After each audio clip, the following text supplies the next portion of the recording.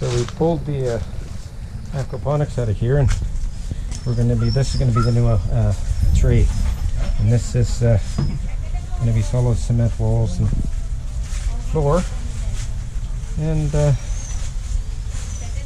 and uh, we'll show you the progress of this rock which is also going to be in an aquaponics rock bed, and we'll show you how that's all going to work out. And this is an easy way to grow food, and because the dry season's coming up, it'll last about uh, two and a half months. Won't get any much rain, so the uh, let the uh, water clean itself.